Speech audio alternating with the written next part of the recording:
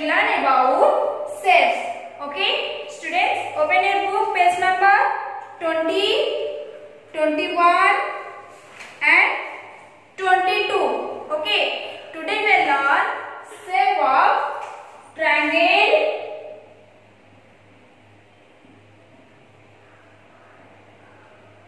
Triangle, diamond,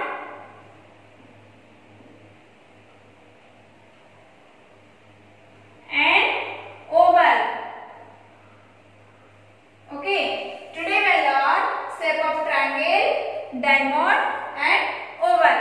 Okay. First of all, we learn first learning shape of triangle. Okay. A triangle has three sides. A triangle has three sides and three corners. Okay. A triangle has three sides and three corners. Triangle में three side होता है और three corner भी होता है okay देखो बच्चों ये एक ट्रायंगल है एक ट्रायंगल है ट्रायंगल में थ्री साइड होता है इस ट्रायंगल